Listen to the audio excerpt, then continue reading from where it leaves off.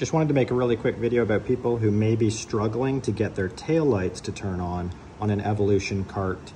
Now, there's this little turn stalk here that you switch and what happens is you should see these symbols appear on your dash.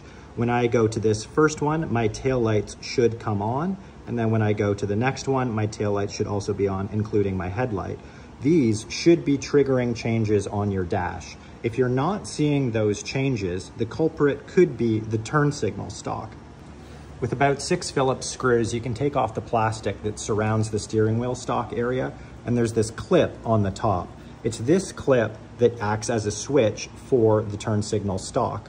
Now, the yellow wire is the pass-through for the first notch here, and the red wire acts as the second notch here. So you can see when I have it plugged in and everything's working correctly, first notch, my little light comes on that shows me my tail lights are working. Second notch, I have the headlight beam. If you're not seeing that, it's possible that your turn signal stalk, the switch inside of here is acting up. And I'm gonna show you how to test it.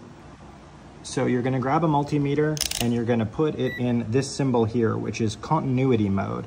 What that does is when your probes touch each other and they allow current to pass through, it'll make a beep. So what we wanna make sure is that this stalk is actually passing the signal through.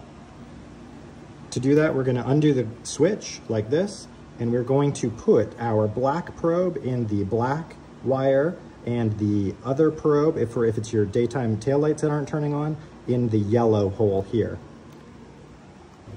Okay, with my probes inserted into the plug, I'm gonna switch the stalk, and I hear at that first and second mode a beep, which is good. That means that the switch is passing through the current. If you don't hear a beep, that means that the stalk is not sending the signal back to the head unit and the cart itself doesn't know you've actually switched the switch and that your headlights are on. And so if you're not hearing that beep, the other thing you can test is the red wire is your full headlights, uh, and that would test whether or not the full switch is on. The yellow wire is the first two notches. So if you're not um, hearing the beep while you're switching your switch, then potentially the stalk itself has got wet or is broken, and maybe it's time to order a new stalk.